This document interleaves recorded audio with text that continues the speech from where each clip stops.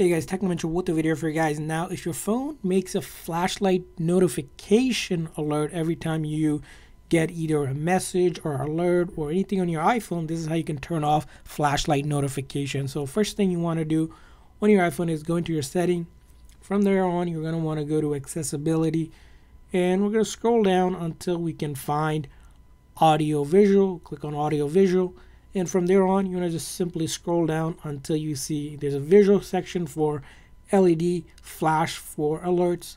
And if it is flashing for alerts this is most likely turned on. We need to turn this off. Now you have the option to turn it off if it's in silent mode or while on lock or, or you can simply choose to just turn off all alerts just by clicking on that. Now once you turn all of these off especially the main one you will no longer get flashlight notification on your iPhone. So whenever you get a notification, it's not gonna turn on that flashlight and then turn it off. So that's gonna be how you turn off flashlight notification on your iPhone.